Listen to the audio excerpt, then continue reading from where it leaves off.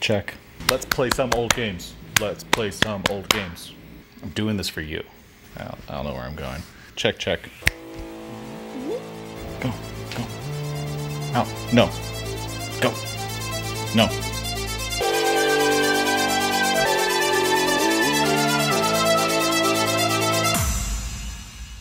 Hey.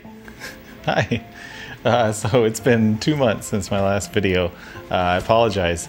We're officially in the Tynology Gaming Set version 3.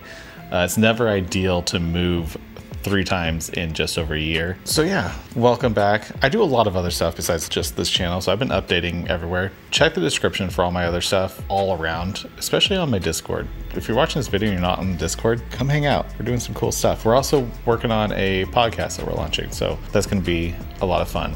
Today, we are talking about this, the Retroid Pocket 2. I like it. It's a cool device for old games.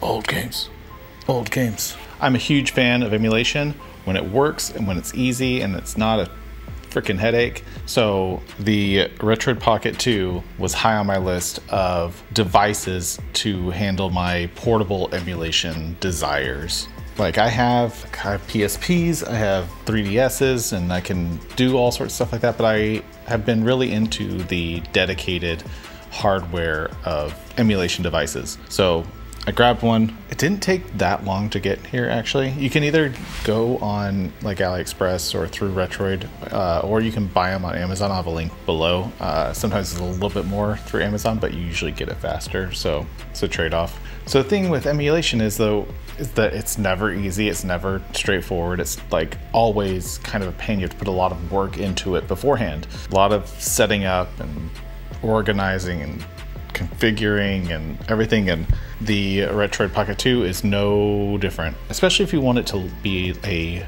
seamless experience.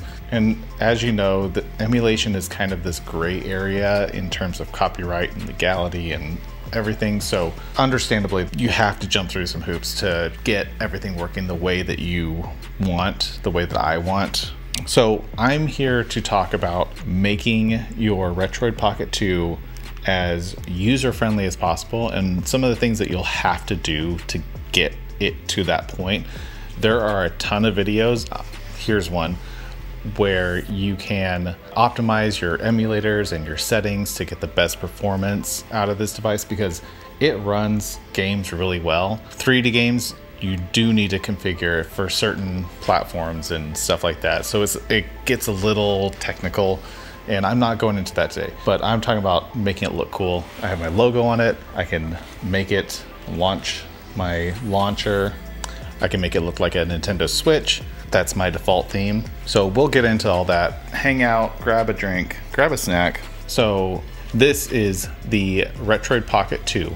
It is a reasonably priced, moderately powered handheld emulation device that actually runs on Android, which is kind of unique for these type of devices. Usually they run on Linux or some type of custom OS, and this does have this Retroid OS as an option, this like dual boot option. Don't use it. There's plenty of downsides. So the device has emulators built in and it uses a bunch of free Android emulators. If you're familiar with Android, you know that there's also paid emulators that a lot of people really recommend. And I have not gone through to analyze that with most of the free emulators. With all the older systems, they all run on RetroArch. Even Game Boy Advance has its own separate RetroArch install that is more optimized for Game Boy Advance games. The PS1 Dreamcast N64 though get a little wonky. And so when I was running the basic PS1 emulator, some games worked flawlessly. Some games were super choppy. And I know that you can optimize settings for different games. So just understand that you're gonna be doing some tinkering depending on what type of games you're gonna play. So the systems that you can play on this Retroid Pocket 2 are Atari 5200, Vectrex, MSX, Lynx, NES, Game Boy, Game Boy Color, SNES, PC Engine, Sega Master System, Sega Genesis or Mega Drive, Sega 32X, Sega CD, Sega Game Gear, Final Burn Alpha, MAME, WonderSwan, WonderSwan Color, Neo Geo Pocket, Neo Geo Pocket Color, Game Boy Advance, PlayStation, PSP, N64, and Dreamcast. Now, most of those consoles, it runs flawlessly. The way RetroArch is set up is perfect, at least for everything that I've had to use it for, which works totally fine. There's also a few standalone emulators that you can go into the menu and launch. They seem to also work fine, but some quirks with this. The D-pad's in a kind of strange spot down here in the corner. It's not that annoying, but it's something to note. If you're gonna play a lot of 2D games, you should note that that's not the most ideal location for it. I do like that it has four shoulder buttons. They actually call it LR and ZL, ZR, like the Switch. Actually, the button layout is identical to the Switch. A few other things, the right analog stick is not a normal Joy-Con style analog stick. Neither of them click in. The right one is actually kind of that old PSP style where it just slides inside this little pocket, which is, I don't like that. It serves its purpose. The other thing is it's Android, and so there's a lot of touch controls in the operating system, which there's no touchscreen on this device. So you have to hold the home button and it turns the whole thing into a draggable cursor to use the touch controls, which is slightly annoying, especially since some emulators want to use touch controls because it's an Android device. That's another thing that you just have to get used to. Other than that, the controls are pre-configured for the emulators already, and the setup is not all that bad. Also, the face buttons feel good. All the buttons feel really good aside from that right analog stick. It's only gripe control wise and the location of the D-pad is slightly less than ideal, but hasn't really bugged me that much. I like the four shoulder buttons because even if I'm not gonna play a ton of PS1 games on this, if I want to, it's there, even if I don't ever use it, and they feel good. So I really like that they just threw them on here. Okay, so the software is Android 6.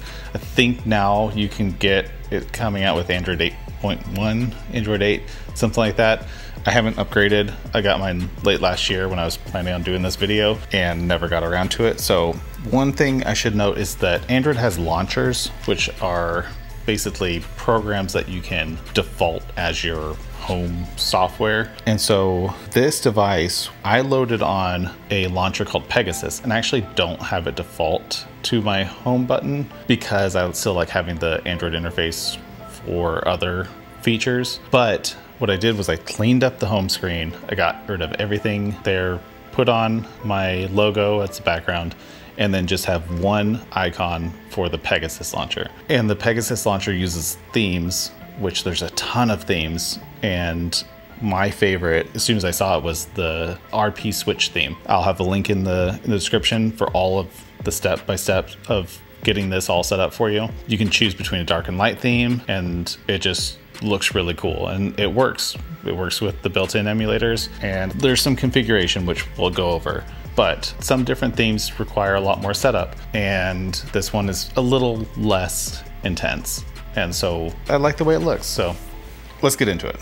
So you can sideload the Pegasus APK file using the Mix app. That's how I installed it. That's just a file browser inside of Android that comes preloaded on the device. Uh, I'll have a link to the Pegasus APK in the description. So another thing you have to do is when you are loading in the themes for Pegasus, there's a couple different ways to do it. I found the easiest way is to actually plug in your Retroid into your computer and then use the Android's built-in file. You have to change the setting for it to be like a data mode and then you can access the device's internal memory, drag your theme into the appropriate folder and then your theme will be in there. It's kind of wonky the way you have to do that because you have to use the mouse the fake mouse touch and drag down. Like if you're familiar with any Android devices, you'll know, you'll see what I'm talking about. Now, obviously you need ROMs. However you, want to get your ROMs, it's up to you. You need a certain folder structure, which I have a link down in the description of a GitHub site where they basically have all of your folders in order, and these would go onto your SD card. It has all the folder structure and then also these metadata TXT files for inside of each folder, telling Pegasus which emulator to launch and what settings to use for that system. So when you go into Pegasus and add your folder, you'll actually add those metadata files. And then when you open a game, it uses that to route to the right emulator. And then when you quit the game, it'll bring you back, which is it's a pretty cool system. But in the description, I have a link to all those folders set up with those metadata files already configured for the default emulators on the system. It saved a ton of time from having to build out your own metadata files. Don't want to do that.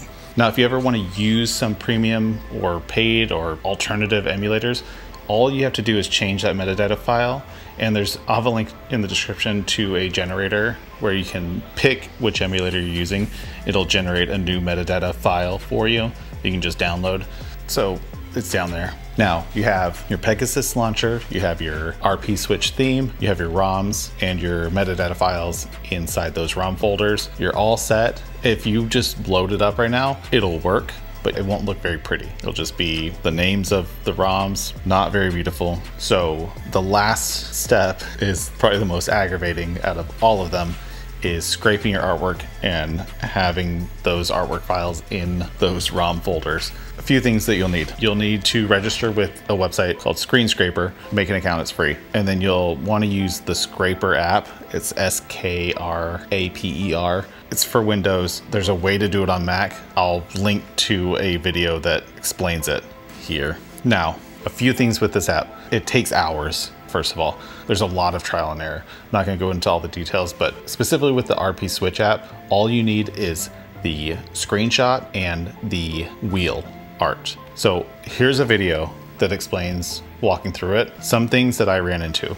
Sometimes it would just delete all my files of things I've already scraped. So have backups in case that happens. I was doing it straight to the card. Don't do that. If you have a mirrored version of everything that's on your card for your ROMs and your metadata files locally on your computer, run it through there and then copy them over to your card. Do that so you don't accidentally delete stuff. Second, there's a section to resize images every time I did that, I would get errors. So if as long as you're not pulling videos and everything, if you're just doing those two images, it's not gonna take that much space on your card. I don't suggest resizing the images. I just kept running into issues every time I tried to do that. So it's pretty cool how this works. Some themes on Pegasus pull all sorts of data, videos, descriptions, titles, publisher, release, like all sorts of stuff like that. So you can do that if you want. If you're using a different theme, you can pull you know, video files, box art, 3D box art, all sorts of stuff like that. And you can play around with different things like that. For my theme, it's just the wheel, which is the logo of the game,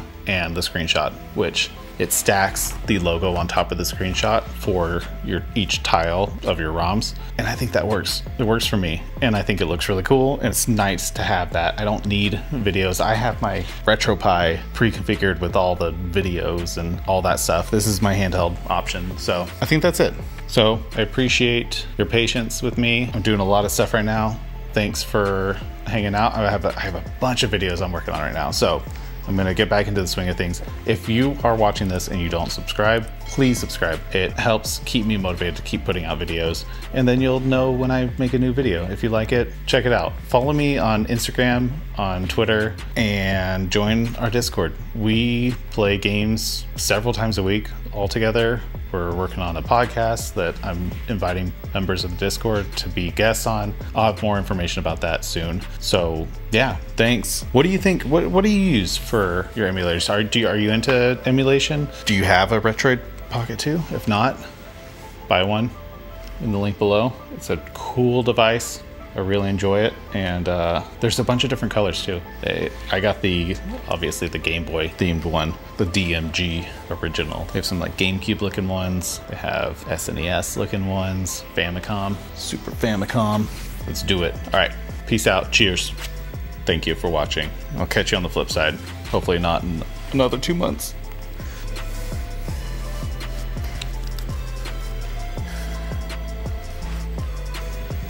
Doing this for you.